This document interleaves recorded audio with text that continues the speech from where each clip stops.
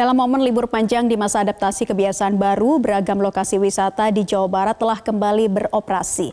Dan sejumlah lokasi wisata di Lembang, Kabupaten Bandung Barat saat ini ramai dikunjungi wisatawan. Salah satunya adalah objek wisata floating market. Nah untuk informasi selengkapnya kita bergabung dengan Yasmin Atania. Yasmin bisa Anda jelaskan situasi tempat wisata di Bandung, Jawa Barat, terutama yang ada di Lembang ya, Kabupaten Bandung Barat seperti apa sih? Ya selamat siang Naila dan juga pemirsa. Saat ini saya sedang berada di salah satu lokasi wisata favorit yang berada di kawasan Lembang, Kabupaten Bandung Barat, yakni lokasi wisata floating market. Dan untuk situasinya sendiri saat ini sudah terpantau ramai. Semakin siang semakin banyak wisatawan yang memadati objek wisata ini. Nama dan juga pemirsa seperti diketahui bahwa kawasan wisata Lembang memang menjadi salah satu kawasan wisata favorit bagi wisatawan untuk menghabiskan waktu akhir pekan atau di libur panjang ini. Dapat kami informasikan bahwa objek wisata ini sendiri menyuguhkan kuliner pasar apung yang menjadi eh, spot favorit bagi wisatawan yang hadir ke tempat ini. Selain itu ada juga juga berbagai spot menarik untuk bersuah foto.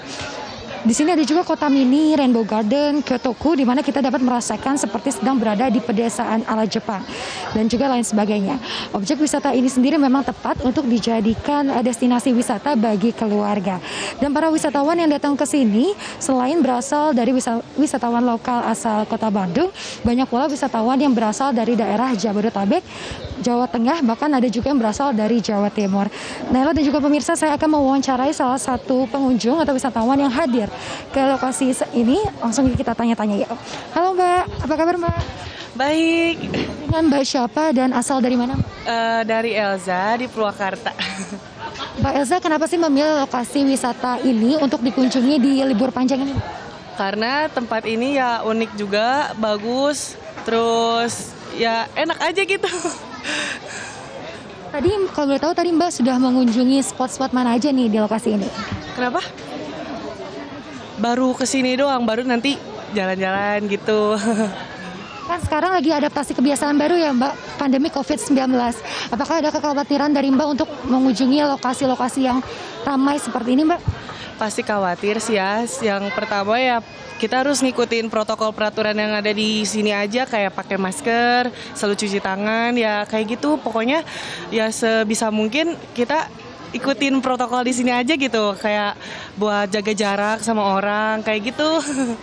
Mbak terima kasih banyak selamat menghabiskan waktu akhir pekan. Ya, Naila dan juga pemirsa itulah tadi uh, wawancara kami dengan salah satu pengunjung yang datang ke lokasi ini. Mereka sebenarnya tidak khawatir karena telah menerapkan protokol kesehatan sesuai dengan anjuran pemerintah. Naila. Ya Yasmin, apa yang dilakukan pihak pengelola untuk tetap memastikan bahwa para pengunjung yang datang ke sana ini benar-benar menerapkan protokol kesehatan dengan maksimal? Ya, Nela dan juga pemirsa pengelola dari wisata ini ini menerapkan protokol kesehatan secara ketat. Dimulai dari pintu masuk tadi di depan harus mewajibkan para pengunjung yang datang untuk uh, mengecek suhu tubuh dan juga mencuci tangan. Selain itu terkait penggunaan masker ini sangat diwajibkan. Selain uh, hal tersebut ada sebanyak 80 pegawai yang ditugaskan untuk uh, selalu memperingatkan pengunjung agar tetap menggunakan masker dan juga menjaga jarak antara satu dengan lainnya. Hal tersebut dilakukan guna memastikan bahwa di lokasi ini uh, bersih dari COVID-19 dan tidak ada penyebaran COVID-19 di lokasi wisata ini. Naila.